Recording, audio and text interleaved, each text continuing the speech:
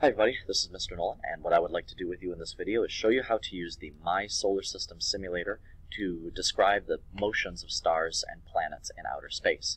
You can see a little screenshot of the simulator, which I have annotated here. It looks a little bit like this. I'll show you how this works in a moment. But uh, it, before we start using the simulator, what I would like to do is talk to you about a case study in which the movement of an object in space uh, was very was pretty intriguing and got scientists thinking. So at the turn of the century, uh, 1900s, early 1900s, scientists were building more and more precise telescopes and other instruments that they were using to, to scan the skies and, and to make more and more precise observations of what was going on.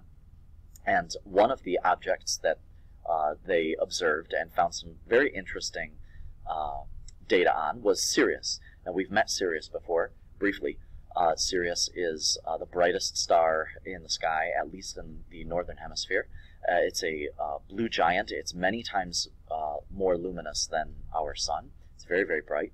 Uh, and as scientists observed Sirius with these very sensitive instruments, what they noticed was that um, it moved. It was moving. It was wobbling. So its orbit, it's a little bit hard to, to read this here, but what would happen is that Sirius uh, over the course of about 50 years, it would kind of stay put. It wouldn't really move that much, and then it would have a big wobble, and then it would go back to where it was for about another 50 years, and then it would have another big wobble. So we see there was a big wobble from uh, about 1935 to about 1945. There was a big wobble during that 10-year span. It moved really fast, and then over the last, next several decades, it moved pretty slowly. Uh, and so uh, this that had a period of about 50 years. About every 50 years, Sirius wobbles. And uh, it took scientists a while to figure out why it was happening. Why is this bright star in the constellation Canis Major uh, wobbling every 50 years? And what they discovered was that it has a little companion. It has a very tiny star which is orbiting uh, uh Sirius. So here's Sirius, and you can see it's so bright that it almost just uh, glares out its companion star right here. This is a very tiny white, whitish colored star and you might remember that a small, dim, whitish star is called a white dwarf. And so what this means, and it's moving, it's actually orbiting, it's moving, moving around Sirius, and so uh, I'll show you uh, uh, an image of this in just a moment. But this little white dwarf uh, was actually, uh, at one time, uh, a red giant, and it burned off all those gases, and so what we have left is just this tiny little white dim dwarf. It's very, very hot, but it's, it's rather dim. And so I want to show you, I want to show you uh, what this uh, sort of looks like. So I'm going to go ahead and play this video.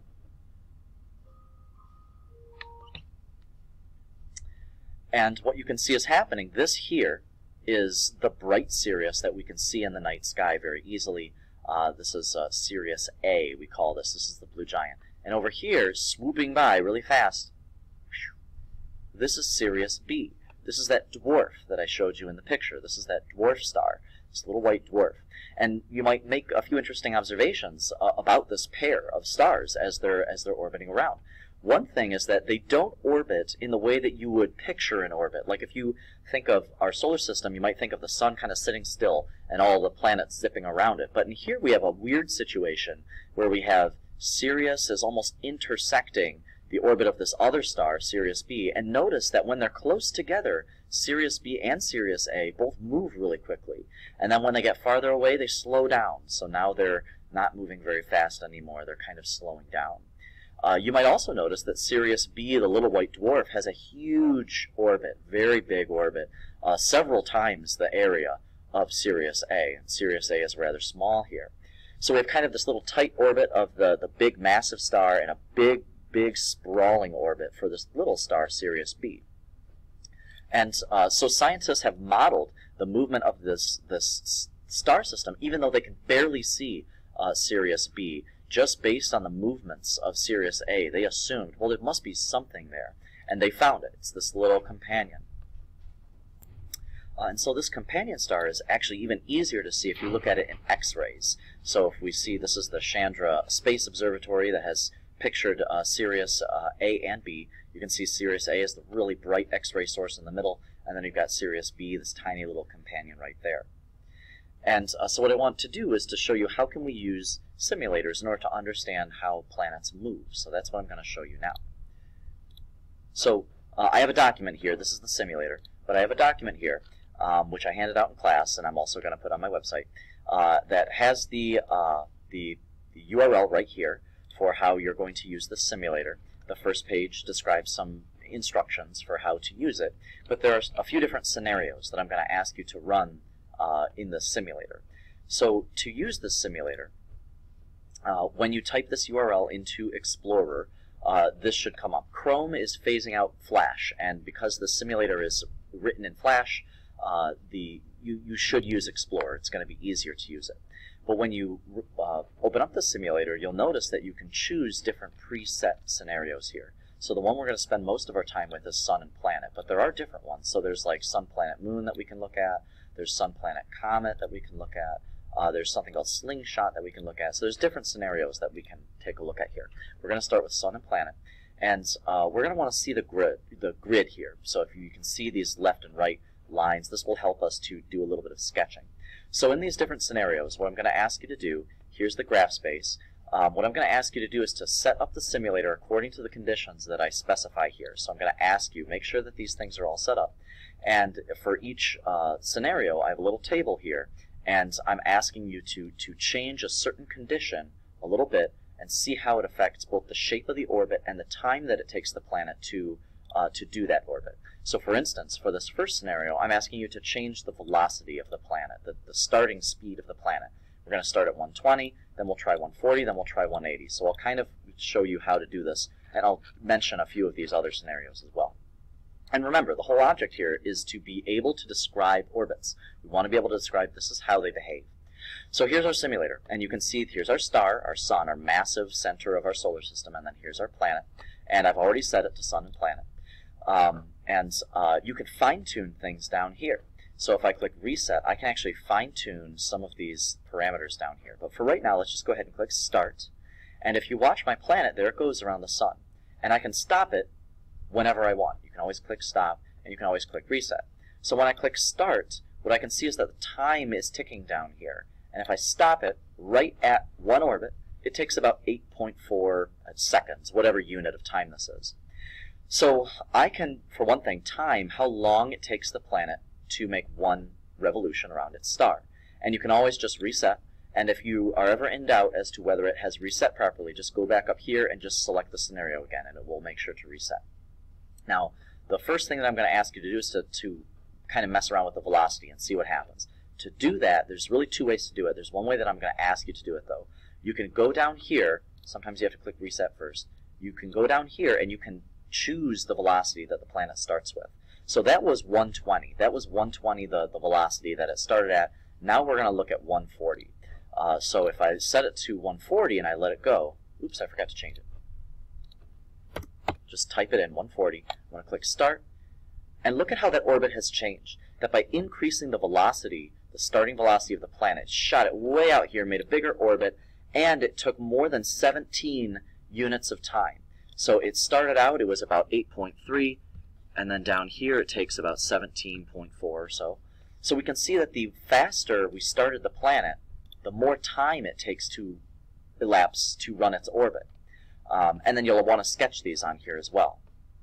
So that's uh, if you're changing velocity, but there's other things that we can change. So we can come back here and we can say, okay, collect that same, click that same scenario. We can also change the position of the planet, the distance from the star. So the planet is set at 150, and I can prove this if we take a tape measure, uh, I, we can actually um, measure the distance. Uh, here, let's do this. We can measure the distance from the star to the planet, and you can see, I know it's maybe small on your screen, it's about 150 if I use the, the tape measure. Now, you don't really have to use the tape measure for the simulation. I'm just sort of proving a point. But if we start it off at 150, we already saw how this planet moves. Uh, and then we can start it, stop it. Okay, there's our time, about 8.3, 8.4, um, which I can type in here. Now if we come back here, um, I want us to actually try to reposition the planet.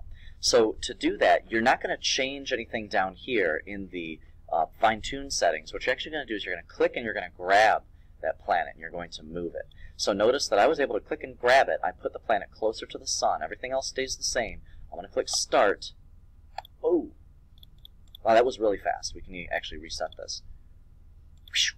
So that takes just a little north of 2.8 seconds, right? 2.8. And so the idea here is that I'm simply just trying to show you how to use the simulator in order to accomplish the tasks that you need to accomplish. Um, after you, you do those things, all right, there's another thing I want you to change, and that's the mass of the planet orbiting the star. Don't worry about changing the mass of the star, just change the mass of the planet. One thing I'm going to ask you to do is to choose another scenario where we have uh, what are called ellipses. So if we click that, here's a new scenario that we can run, and we can watch how these different objects behave. Um, here are uh, here's another one where we can take a look at the uh, planet and uh, a comet, and you can see how does the planet and the comet, the blue one, how do these behave differently? Uh, and we can learn, we can use this to learn about those. Uh, we can also go ahead and look at how the moon behaves. We can look at uh, a, a, maneuver called a slingshot. And for each of these scenarios, I just want to go want you to go through and answer the questions um, and, and circle the correct answers for these different different conditions. Uh, and then there's some sort of laws or ideas I want you to come up with toward the end of this um, worksheet where um, you're going to try to, to sort of generalize what are some laws or relationships between, for instance, velocity and size of the orbit, or between the starting distance and the time of orbit, or between the starting distance uh, and, uh, oh, I just realized there's a typo, uh, or between, you know, different, different uh, characteristics of, of those stars. So, um, and, and orbits. So that's what I want you to be able to do, is just use this simulator in order to describe the motions of orbiting objects and to figure out how, if you change the conditions of that system, how that affects its simulator. So all this kind of just starting from the, the, the idea of Sirius, the sort of odd companion that's circling around it, these strange motions that we observed of this star. Um, you know, we're, we're using our simulator in order to explore those, those strange motions. So I hope that this video was helpful and kind of pointing you in, in the right directions for where do we want to go with the simulator and what is the purpose of the simulator. We want to be able to describe the motions of stars and planets in space.